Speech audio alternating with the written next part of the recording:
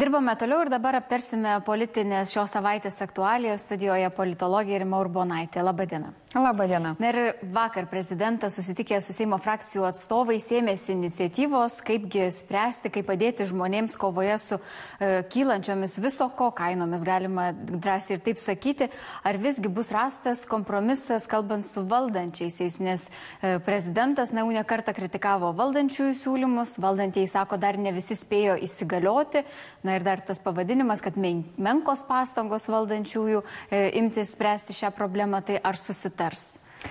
Taip, panašu, kad politikai labiausiai ir sukruto po to, kai jau gyventojai gavo ir sąskaitas už šildymą, kai jau realiai pamatėme, kuo visai, visa tai kvepia ir kaip atrodo tos prognozės ir kad jos ne tik atrodo pakankamai stipriai išaugusiomis sąskaitomis, bet dar ir pasitvirtina ir turbūt pasitvirtins tai, kad dar čia yra ne pabaiga, tai žinoma, politikai puikiai supranta, kad tai labai gali stipriai keisti visuomenės nuotaikas ir čia prezidento ta iniciatyva, manau, kad buvo padaryta pakankamai apgalvotai ir šiaip reikia sveikinti turbūt tą iniciatyvą dėl to, kad vis tiek žmonės nori tam tikro valdžios reagavimo, tam tikrų priemonių, taip dalis jau galbūt yra priimta priemonių, kurios gali šiek tiek švelninti tą situaciją, tai aš kalbu ir, ir apie tam tikrų ir išmokų kilimą, ir, ir tų pačių pensijų kilimą ir yra jau padaryti sprendimai dėl tų pačių kompensacijų už šildymą, galimybės gauti.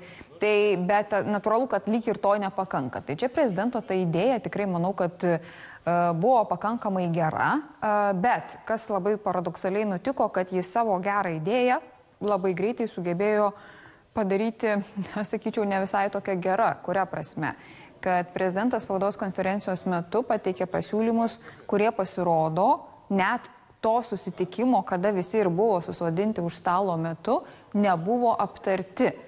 Ir man yra keista, nejaugi prezidentas nepagalvojo, kad tai gali, na, tiesiog netgi, sakyčiau, šiek tiek įžeisti politikus, nes galiausiai sprendimai turės būti priimami Seime ir tame dalyvaus va jau tie politikai, kurie sėdėjo tada prezidentūroje prie to stalo, tačiau su jais niekas apie tai net nesitarė.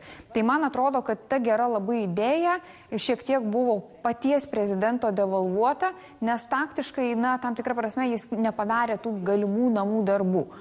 Ir man atrodo, kad šiandien net prognozuoti, kuo baigsis tie, na, prezidento siūlymai Seime, kitaip tariant, koks bus jų rezultatas, kiek Seimo nariai tam pritars, nepritars, ši dar yra labai didelis klausimas. Nes jau girdim kai kuriais atvejais skepsi a, iš pačių politikų ir natūralu, kad čia lengva nebus. Tai prezidentui tikrai manau, kad nebuvo labai sudėtinga apie tai paskelbti, susirinkti galbūt šiek tiek ir karmos taškų, bet jeigu tu nori jau rezultato, kad tai taptų tikrai, kaip aš sakau, kūnu, tai vis dėlto tas bendradarbiavimas su Seimu ir vyriausybė turėtų būti dar intensyvesnis, tai kitaip tariant, kitą kartą surenkant visus prie stalo reikėtų ir pakalbėti turbūt iš esmės. Bet ir tarp pačių valdančių nėra vienos pozicijos, nes e, ir liberalai, ir Laisvės partija nepritarė.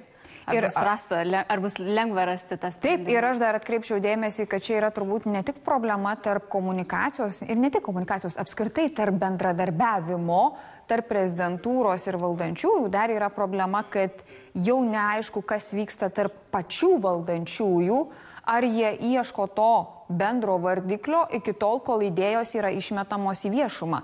Dabar panašu, kad taip nėra ir netgi dėl vyriausybės siūlymo, kad ir tą vadinamąjį PVM iki nulio naikinti šildymui, na, Akivaizdu, kad kai kurie koalicijos partneriai apie tai net nebuvo informuoti.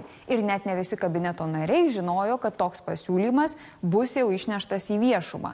Tai natūralu, kad čia jau atsiranda tam tikrų, sakyčiau, tokių plyšių arba kitaip tariant įtrūkimų, kurie tampa na, vis labiau tokie, sakyčiau, keliantys nerimą būtent dėl to, kad mums reikia šiandien ne idėjas mėtyti į orą, o reikia susitarti ir susitarti taip, kad mes turėtume geriausią įmanomą rezultatą, nepakenkiant nes tikrai dabar nėra laikas uh, gaudyti reitingo taškus. Jūs sakot, nėra laikas, bet iš tiesų mes dabar apie tai kalbam vasario mėnesį, kai viskas buvo prognozuota rudenį, tai vyriausybės vadovė gal tuomet čia nepadarė savo namų darbų. Aš manau, kad e, taip, vyriausybė, kaip ir sakiau, ir tarpusavėje nepakankamai komunikuoja ir dabar lyg ir teisinasi, kad yra kiti sprendimai priimti, apie kuriuos aš jau šiek tiek minėjau, kurių dar žmonės galbūt nepajuto, nes dar negavo visų, vadinkime, tų papildomų pinigų žadėtų, bet vėlgi klausimas labai yra, na, vadinkim taip, jis yra,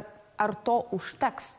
Kitaip tariant, mes taip ir nesuprantam, o tai koks tas vis dėlto galutinis yra vyriausybės planas. Ir čia jau irgi yra vadybiniai tam tikri klausimai, nes sakau, komunikacija tik tai prisidenginėti kaip figos lapeliu irgi nereikėtų. Kitaip tariant, e, šiandien klausimas, ar tikrai vyriausybė turi planą, Ar, o gal jį galvoja, kad čia nėra viskas taip tragiška, kaip galbūt bandoma nupiešti dabar viešojo erdvėje. Bet vėlgi, tam reikia specialistų vertinimų. Nors dabar, aišku, ir ekonomistų vertinimai pradeda skirtis.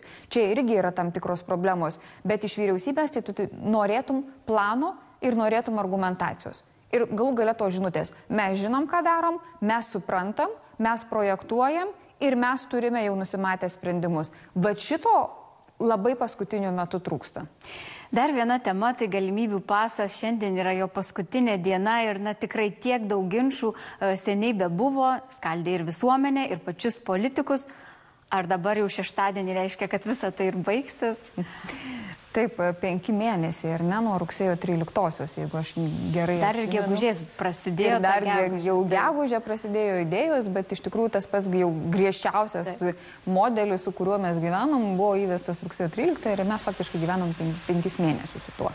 Ir tikrai tai kėlė labai labai daug diskusijų, daug kas kalbėjo, kad čia yra žmonių skirstimas ir visa kita, nors mano požiūriu tai turbūt buvo vis dėlto ta, tas pabandymas paskatinti žmonės vakcinuotis. Ir čia taip yra klausimas, ar tai tikrai paskatino ar nepaskatino, bet e, kartais taip jau yra, kai žmonės patys nelinkia saugoti savęs ir kitų, nori, nenori valdžiai vienai arba kitai vienoje arba kitoje šalyje reikia ieškoti galimybių, kaip žmonės vis dėlto tada priversti saugotis. Arba sumažinti, na, galimas grėsmės sveikatai, visos visuomenės sveikatai, o ne atskirų žmonių. Tai aš manau, kad dėl šito sprendimo dar mes matysime nemažai diskusijų ir dar turbūt net galutinių išvadų padaryti net negalime, dar netgi yra kiek anksti.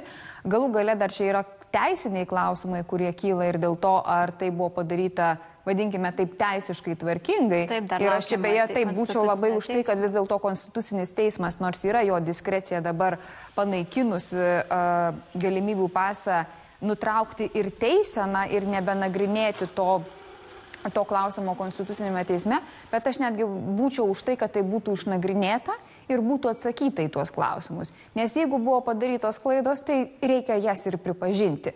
Tai aš manau, kad vis dėlto dar čia tikrai ne istorijos pabaiga, bet iš kitos pusės nemanau, kad tai jau ir visiškai nuims tas įtampas. Įtampos tikrai tad, slūkti pradės tada, kai mes pamatysime labai stipriai slopstančią pandemiją, kad jau ji tikrai traukiasi iš mūsų gyvenimo, bet jeigu mes šiandien atsidarytume statistiką ir ypač pažiūrėtume ligoninių rodiklius, tai tiesą sakant, aš kol kas dar nejaučiu jokio pagrindo atsirasti ramybei, kaip tik priešingai sakyčiau, na, pagal tai, ką dabar matau, tas lengvas vadinamas omikronas gali būti ne visai jau toks, kaip, aš, na, kaip sakom, pukuotas, dėl to, kad vis dėlto dar tie skaičiai tikrai yra tokie, dėl kurių na, mes atsipalaiduoti visiškai negalime. Tai labai nesinori, kad vyriausybė tiesiog nuo vieno kraštutinumo pereitų prie kito ir kad tai galiausiai būtų visada pamatuota. Nes čia spekuliuoti skaldo, neskaldo, mes matom, politikai tuo spekuliuoja. O man atrodo, visuomeniai labiausiai reikia pamatuotų sprendimų, kurie būtų geriausias įmanomas variantas iš visų. Nors kartais labai gerų net nebūna.